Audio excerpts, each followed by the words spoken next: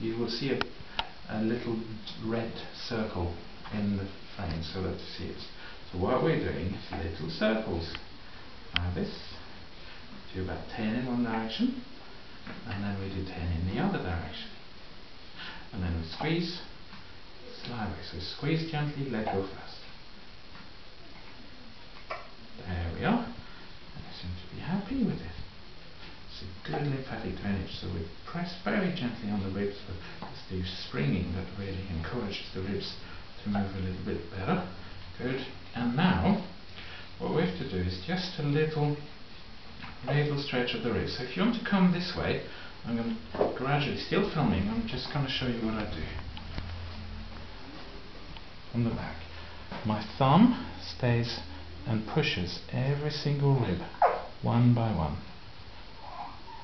Good. And then we do the same on the other side. Coming up.